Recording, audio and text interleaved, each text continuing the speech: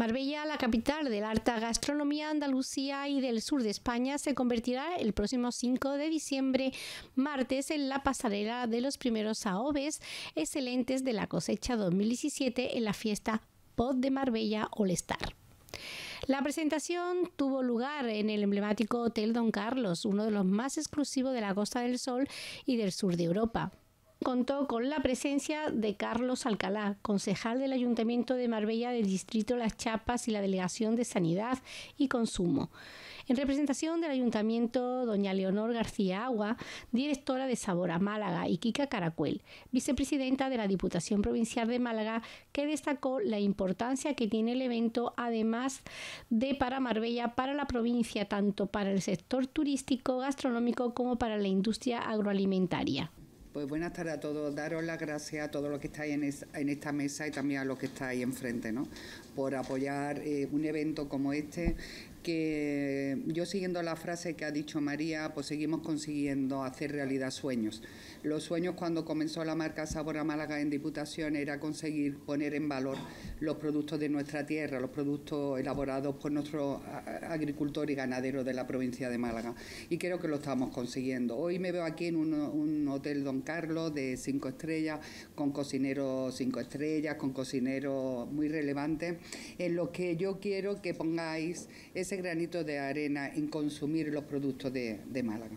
Esos productos con un logo azulito, cuadradito, que bueno, lo lleva aquí un compañero, yo hoy no lo traigo porque eh, se me ha caído en el coche y no lo encontraba, pero siempre lo llevo en el corazón y en mi trabajo y decir que tenéis que tenemos que conseguir entre todos que el aceite de oliva virgen extra de Málaga que uno de los mejores del mundo porque ya tenemos premios así reconocidos tanto en Europa como a nivel de España. El mejor aceite eh, de España se hace aquí en Bobadilla en Antequera Málaga.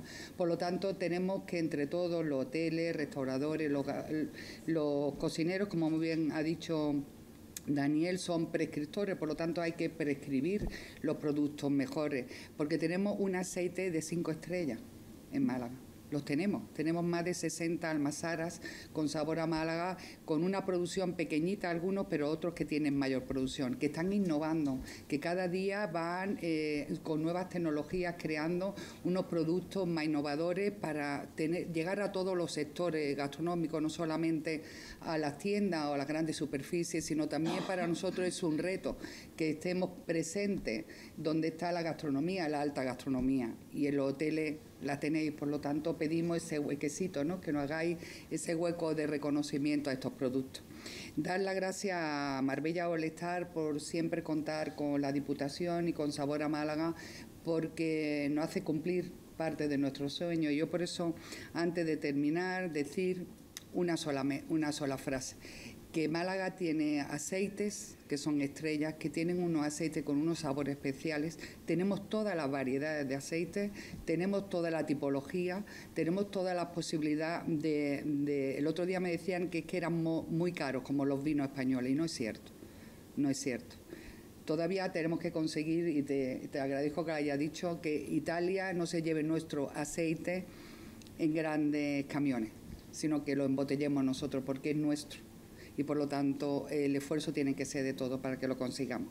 Pues muchísimas gracias María y muchísimas gracias a todos los que ponéis un granito de arena en, este trayecto de Sabor a Málaga, que llevamos pocos años, era Kika, mi compañera, que desde el primer momento ha apoyado mil por mil Sabor a Málaga y que siempre me ha acompañado en todos los momentos, no tan bonitos como estos, sino también los difíciles, ¿no? los de conseguir que esta marca se tuviera visibilidad en toda, en toda la provincia de Málaga y fuera de Málaga. Y terminar con una frase que yo siempre, María y yo y todos los que estamos, es que unidos brillamos más.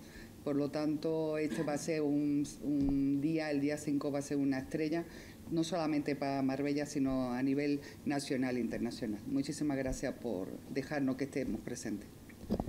Bueno, buenos días, buenas tardes ya a todos. Y comienzo saludando cariñosamente a todos los miembros, todos los socios de, Marbella All. Y con dos palabras, yo creo que hay que decirle agradecimiento y reconocimiento. Agradecimiento nosotros desde Diputación Provincial, yo como vicepresidenta de la Diputación me siento siempre honradísima de poder compartir eventos de esta, de esta naturaleza y, agradecimiento, y reconocimiento porque eventos de esta naturaleza contribuyen a posicionar aún más la marca, la marca Marbella celebrándolos aquí en nuestra, en nuestra ciudad. Desde hace por lo menos cinco años eh, la Diputación Provincial se planteó como reto la diversificación de los sectores productivos de la provincia. Se está luchando, se está peleando por diversificar dentro de lo que es el propio turismo distintos destinos turísticos, destinos, objetos turísticos, porque tenemos una oferta muy amplia aún para trabajar. Y parte de esta diversificación del objeto turístico es el turismo de la gastronomía. Nosotros somos muy potentes en toda la provincia en turismo de sol y playa, en turismo de deporte, en turismo de salud, que es un sector que se va, que se va afianzando, en turismo de compras, pero tenemos que seguir trabajando porque también somos una potencia en turismo gastronómico. Y estos actos que se van a celebrar, como por ejemplo este que se hace el 5 de diciembre, además ayuda a, un, a, un, a paliar un efecto muy indeseado en la provincia que es la estacionalización. Fíjense que se va a hacer además en lo que consideramos temporada, temporada baja, con lo cual también ayuda a esa tan poco deseada desestacionalización con la que todavía nos encontramos en la, en la provincia en el, en el sector turístico. Pero le hablaba de diversificar los sectores productivos. Nosotros somos turismo, somos eh, construcción, pero tenemos que ser también sector agroalimentario. Y ahí también se hizo esa fuerte apuesta hace unos años, como decía mi compañera, la directora de Sabra Málaga, Leonor, se comenzó con una mesa del campo que fue bueno, pues los orígenes de lo que hoy es Sabor Málaga, ya muy afianzado y muy reconocido como apoyo al sector eh, agrario, como apoyo al sector ganadero y dentro del sector agrario se trabajó desde el principio con la mesa del aceite. El sector olivarero tuvo siempre una importancia fundamental desde el principio en lo que fueron los planes de apoyo al sector agroalimentario en la, en la Diputación Provincial.